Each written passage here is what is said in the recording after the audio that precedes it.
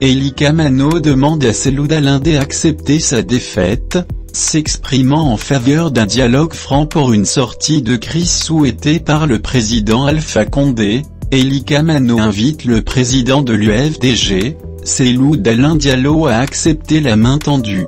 Politiquement, tout est bloqué aujourd'hui entre l'UFDG et la mouvance présidentielle. Il y a des membres de l'UFDG qui sont en prison. Donc, je pense que Dalin, doit accepter la main du président Alpha Condé aujourd'hui. C'est quelque part trahir les autres qui croupissent en prison.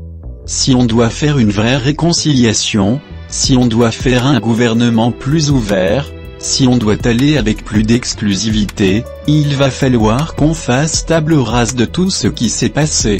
Notamment je faisais partie de ceux qui étaient contre.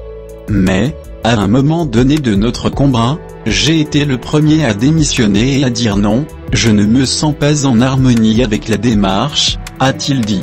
Parlant de réconciliation, Elika Mano souhaite, si on doit faire un gouvernement plus ouvert, si on doit aller avec plus d'exclusivité, il va falloir qu'on fasse table rase de tout ce qui s'est passé.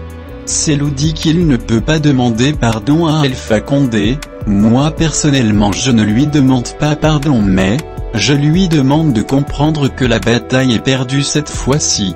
La bataille a été perdue depuis qu'on a échoué d'empêcher les élections législatives.